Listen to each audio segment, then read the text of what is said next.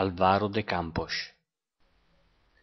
Non sto pensando a niente e questa cosa centrale, che a sua volta non è niente, mi è gradita come l'aria notturna, fresca in confronto all'estate calda del giorno. Che bello! Non sto pensando a niente. Non pensare a niente è avere l'anima propria intera.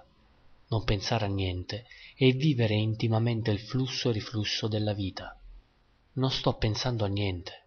È come se mi fossi appoggiato male, un dolore nella schiena o sul fianco, un sapore amaro nella bocca della mia anima, perché, in fin dei conti, non sto pensando a niente, ma proprio a niente, a niente.